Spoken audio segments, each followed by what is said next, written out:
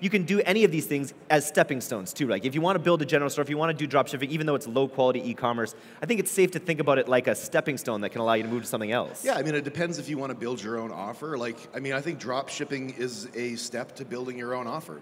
And, you know, one of the best offer structures that are out there is uh, like a free plus shipping model.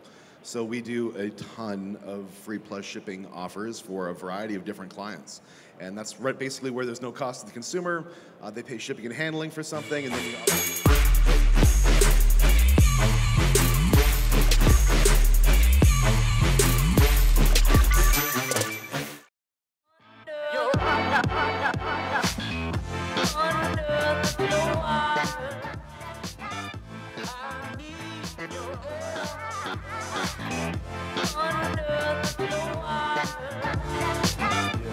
Very nice to be here. Yeah, good. Thank you for having me. Well, it's always nice. Uh, I interviewed on my podcast, The Robust Marketer. that was a lot of fun. That was a lot of fun. And then we took a flight together. yeah, that was less fun. Had a few drinks. Yeah, that was a lot. We were on a three-hour delay on the plane when the, when an air conditioning filter caught fire. Yeah, I could smell that. I was afraid we were going to take off, but at least they stopped. Yeah, that's definitely should be against airline policy, I think. Speaking of policy, uh, as we near the end of 2017 and we reflect on the roller coaster, on all the updates that Facebook has rolled out throughout this year over the quarters, what, what would you say, the, counting down the biggest headaches of Facebook policy of 2017? Uh, I think um, uncertainty is obviously a headache. Like, if you know where the line is or you know where you, the direction is, then it's easy. It's easier to plan around that and plan for that. Um, you know, we've seen a lot more stability in the second half of 2017 than we did in the first half, because even Facebook at that period of time didn't really have much understanding as to what was okay and what wasn't okay in the wake of a lot of the political stuff that was starting to emerge. I mean, which is intensified now. Um, but we would see campaigns that we were running that we were signed off on that would then transition to no, you can't do that. They're now back to yeah, that's fine. So it's, Really? uh, yeah, it's a lot They, of. they've actually seesawed back. There's some flip flopping. So Flip, flo- that you sounds know, new- political. I say new information, new decisions. So yeah, that's um, facts on the ground, it's right? actually I actually really appreciate that they're able to kind of look go back and look at something and say, yeah, we made a mistake, and then you know now this is okay. and do you think it is that, or is it like the revenue team pushing them to be like, no, you got to make more money? There's always pressure from other side. We actually have seen, um, you know, the uh, the partner that we work with at Facebook definitely in the last two quarters was a lot more motivated to understand how much money we were planning on spending.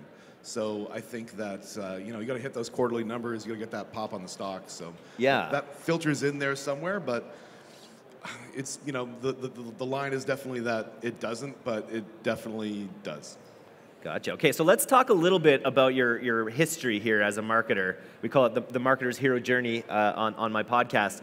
But one of the things that we talked, talked about there was what you called the line in the sand that your company drew, where you really decided to go from, uh, a, say, a traditional, you know, a black hat affiliate background, and then you decided there's a lot, there's a bigger future, there's a lot more potential in white hat. When did you make that decision? What were you doing before? Nah, let's just focus on what you did after. Yeah, well, I think it was just a lot of frustration with the, you know, black hat stuff. Was it's a cat and mouse game, and if you're looking at it, you're playing against a company like Facebook, worth hundreds of billions of dollars with unlimited resources. You're not going to win that game. Much the way where email um, senders back in the day didn't win the battle with the ISPs for spam. So like it's going the same way. We just saw it early and we weren't doing terrifically well with Black Hat at the time for some reason. Then we had this huge amount of overhead and uh, you know infrastructure that was required to make that happen. We just said fuck it and we just drew a line in the sand and then pushed forward. Can you tell us what your big first white hat win was?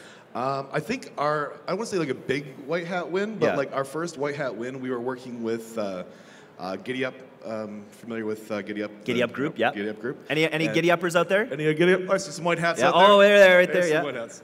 Um, yeah, so we were working with them, and we, wor- we worked on their uh, on their first ecom product, and we saw some you know some some reasonable success, enough to be like, hey, this can work. Let's Yeah. push forward with that, and that really uh, enticed us to keep driving forward with it. So when you were talking earlier about the, the, the seesaw where there's the policy overreach and then the, the clawback, like, you know, obviously cloaking and all those things, that's going to get caught algorithmically and all that. But even people I know that run some CPS stuff I know that, that they, they've had issues. They've had accounts go down when, when they felt like they were doing what they were supposed to be doing. Have you guys experienced a lot of that? Maybe. Maybe. uh, you know, been there, saw that. So, I mean, just because something's not trial continuity doesn't mean that it's white hat or compliant. And it's less about what is being sold and more about how it's being sold.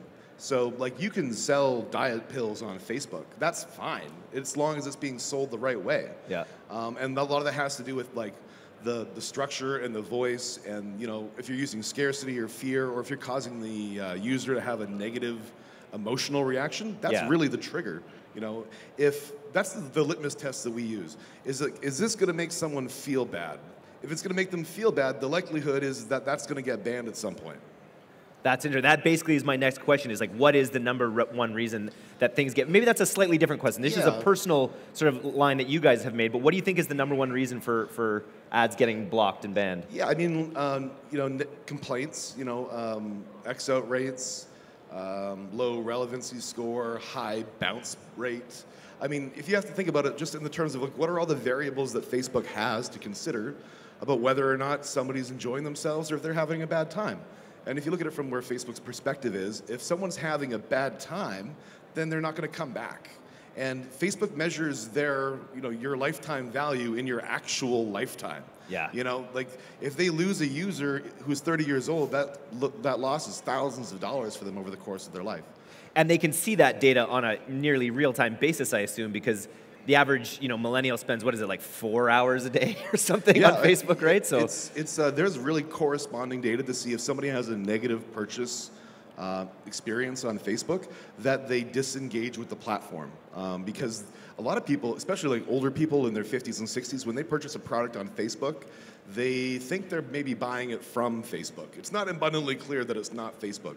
Facebook is like the truest native platform that exists. You know, you've got ads between like pictures of your neighbor's kids and your you know nephew and you know your annoying aunt and all that kind of shit. Yep. Your, your hockey team, we have our goalie just posts hockey team photos all the time, and uh, yeah, you, you don't want to be in there in the, with the wrong thing. No, um, and so like there's a real benefit to that. The reason that the platform converts highly is they've got great data, and also people's walls are down. You know, Yeah. you're you're cruising through your feed. It's a very personable, intimate experience. You know, you've crafted that feed for you, and if there's something in there that's jarring or that pisses you off, Yeah. um, you might take action against that. So the, the question I have here is, uh, y- which one is this here? So a it says, how much can affiliates get away with? But that's really not the right way to be thinking It's- about it. I mean, like if you're trying to get away with stuff, you're not. That's like a pretty narrow, short-term thing. I mean, you, maybe you'll make 500 bucks that day or something, but like, don't you want to make a million bucks? You know, over the course of a little bit longer period of time. Yeah. Yeah, and it's it's really easy. Like, so you know, people say, well, can't you like tell us exactly what the policy is? How many, how many times can I say free? What's the, you know, maximum discount percentage? It's 50 percent. Okay. what you know, like things like that. Um, you know, what you know, give me guidelines.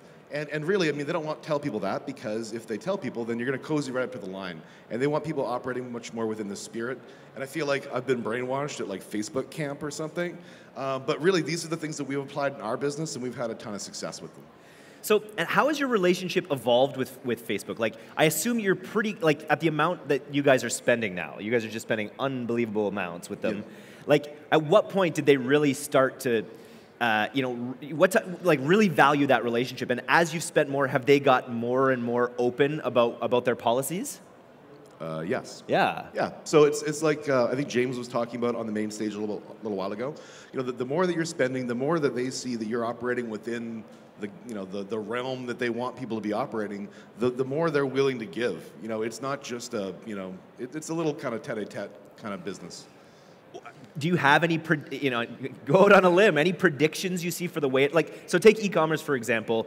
Uh, one of the things I, I hear people talking about is the, um, the, the shipping times, you know, basically, you know, surveying users after the fact. Did you get this product that you bought or something like, do you, do you see things like, like, do you see them coming in to make drop shipping harder to do in the next couple years, for instance? Yes. Yes. Yeah, yes. They're I mean, going it's, to. Uh, they, they call it low quality e-com Yeah. in, in, in, inside the organization. Like it's a, you know, before the political stuff was on the radar, that was one of the primary things that they were running up against.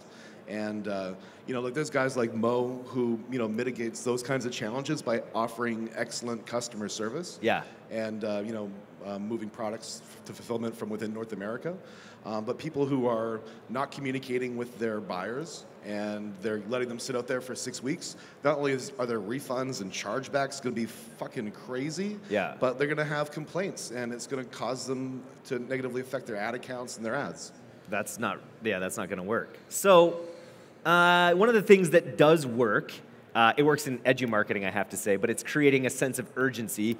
And you know, you can only create a sense of urgency so many times with a consumer before they realize that "I mean, there's really no urgency here. Yeah. What, how do you see that sort of tactic evolving on Facebook in Yeah, 2018? uh, so like false scarcity. False Like- scarcity, Like yeah. the countdown timer. like diamonds. Yeah.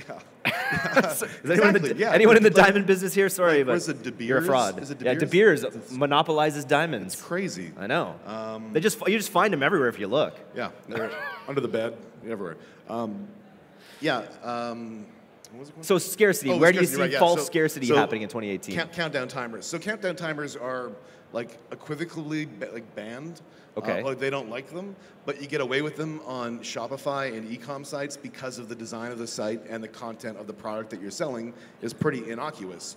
So it's more like um, it's not like so. Let me rephrase that. So countdown timer is like not good. But if you don't have a bunch of other heinous shit, then you can kind of get away with it. It's more of like a holistic approach to the page. Does it have a countdown timer and a pop-up and like you know a bunch of other spinning, crazy, flashy shit? Yeah. Um, you know, the more um, it's like it's almost like they added a point for every single thing. So you know, it's in this year. I think that you know, as their revenue needs to go, they will alter their policies to be more aggressive or less aggressive. Yeah. So uh, one, you know, the, obviously the biggest trend in, with this audience is sort of a, a move from uh, traditional affiliate marketing through to e-commerce. And so whether that is working with a CPS network like GiddyUp, perhaps, or or starting their own drop shipping company, maybe where they want to pick a few products, build out a general store. What are some of your tips about how to think about the, the, the best way, because I think you can do any of these things as stepping stones too. Like if you want to build a general store, if you want to do drop shipping, even though it's low quality e-commerce, I think it's safe to think about it like a stepping stone that can allow you to move to something else. Yeah, I mean, it depends if you want to build your own offer. Like, I mean, I think drop shipping is a step to building your own offer. And, you know, one of the best offer structures that are out there is uh, like a free plus shipping model. So we do a ton of free plus shipping offers for a variety of different clients.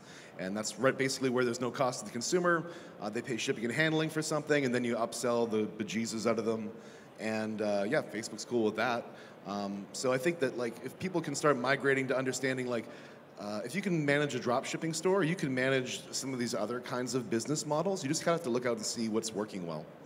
Interesting. So, uh, do you guys use a lot of uh, things like ManyChat or Messenger marketing? Um, we do a little bit of messenger marketing, although I would, would let, admit that we're not as proficient at it as I would like us to be. And I imagine that's a bit of the wild west right now in terms of what they'll allow. And I'm sure that's that's an area too that's going to be tightening up in the Yeah, coming. there's a bunch of crazy shit with that. Like, they have this one feature where if you pay like $99, you can upload a list of phone numbers and then it like creates a messenger list out of them.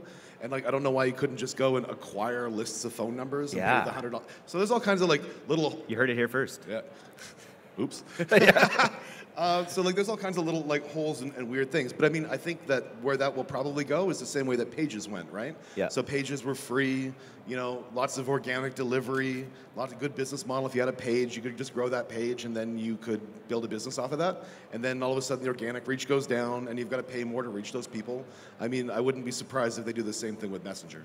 Give make you pay to actually have Make- access. make to you pay to access That's going to happen for sure. Yeah, it's just no one seems to notice that. But right now, it's like uh, you know the getting's really good. Yeah. So one of the things uh, that, that that's sort of happened this year is the, the attack on ad spying tools.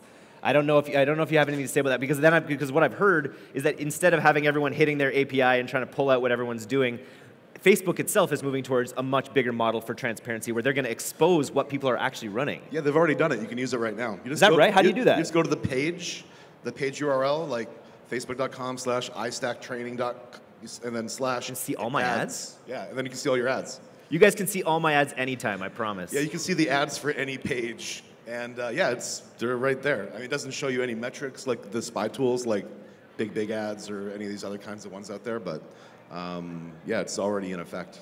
So, at what scale does Facebook care about you enough to give you a rep these days, do you think? I guess you guys are up in the stratosphere. Do you know what, what the lower end of that looks like? You know, I don't know specifically, but I think that if you're, you know, you maybe maybe 50 grand a month or something, 100 Yeah. grand a month. I mean, you know, I, there's different levels. There's like SMB, and then there's the uh, the GSO level. Yeah, in Um, terms of reps. In, ter- in terms of reps, in terms of groups, and so the the lower um, level reps work with I think it's like 130 different clients. Yeah. And then like our rep works with like five other or six other people. Interesting. Um, so there's two like pretty huge tiers there.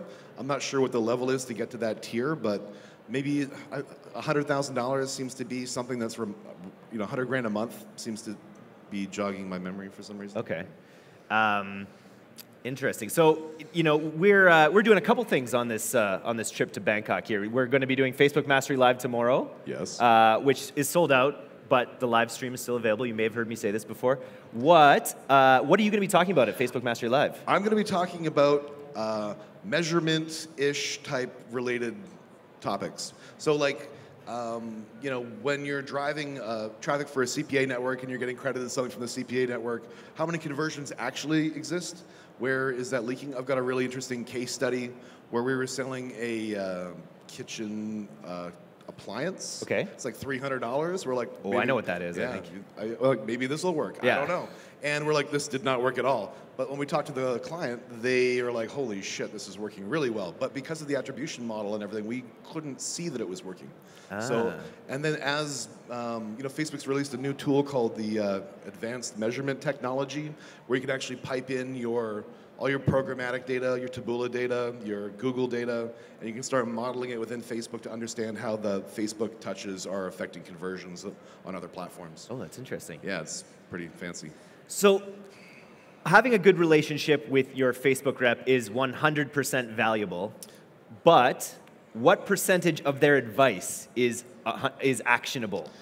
Uh, because uh. I've heard a lot of people say, even at high levels, you, you, you know, they're, they're telling you things, and, and people will go out and even like do the things that their Facebook reps will say, sometimes to humor. Sometimes they humor them and they don't, you know. You know, I, I don't think they're misleading in any way. No. I think it's just like It's a big company. You, you don't know what you don't know. Yeah. And you know, a lot of times we have to direct, you know, our guy to be like, "Hey, can you go and look into this?" And then he'll be like, "Oh, I had no idea." It's a big company, lots of moving parts, but you know, if you have, if you can um, help direct them and work with them, they're more than happy to do that. Okay. So, what are some of the key, re- like, you know, when ads accounts are flagged for misleading user experience, what else goes into the decisions? Are they, are they looking at things that are off their site? Are they going to start looking at things that are like on your page? And how do they go about doing that? Yeah, Your pixel, I they, guess, they, right? They cache every page that an ad goes to, and um, they have they're hiring three thousand new human reviewers. To they want to try and move to a place where they can physically, humanly review every ad. Um, Wow. I don't know what the likelihood of that is, but um, you know, and this is just a, maybe a good tip in general. Um, when these people are reviewing ads, it's not like this part isn't great or this part. It's like good, bad, good, bad, Pass, fail. pass, fail, pass, fail. And Yeah. so they're use, kind of using that to train the algorithm to make the algorithm more effective, right? Um, so if your ads look like ads that other people are doing kind of you know heinous shit with, the likelihood of you failing, even if you're selling a pretty good product, is pretty high. Oh, that's interesting. Yeah. So it's like design plays into things in such a crazy way. Because they want the newsfeed to look good. Well, not just the newsfeed, but like pages too. Like if you've got a really shitty looking affiliate, you know, if everything looks like a Garcinia page, I mean, the reviewer is not spending enough time to look at that it doesn't say Garcinia. They're just like Garcinia, you know, it's Yeah. toast. Garcinia-ish. Garcinia-ish, yeah. I mean, design is uh, incredibly important. Do you think Facebook is any more lenient on like when they're trying to push a new format, for instance? So something like Canvas, which is something we're using quite a bit. Do you think that there's they're more willing to allow you to push boundaries when when it's sort of like a bargain where you're using something that they're really keen on? So they can do two things. One, they artificially lower the cost of new ad units to try and entice big agencies and big advertisers to use them. and you can take advantage of that too. Like Facebook Live was a really great deal for a long time. I don't, I'm not sure if it still is or not. Yeah, video still is, pretty is a pretty good deal, but it's Yeah. changing. It's, I mean- it's getting more expensive all I the mean, time. in my keynote in, uh, in about an hour, I'm going to talk about how like we basically leveraged that video discount to really pop our company off. Really? Yeah, it was. That like- was one of the main factors in the- one of the- like we got to video really early. Yeah. and then we just destroyed it. You know, so.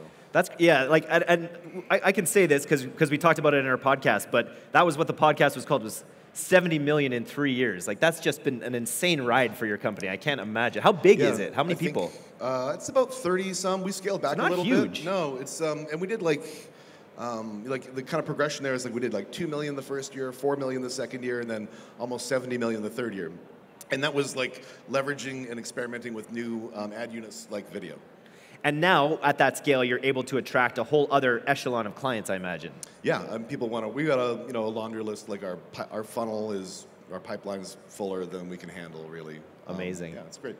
Any uh, final words on Facebook policy for the audience that they that want to leave people with? Um, pre-sales in health and finance are banned now.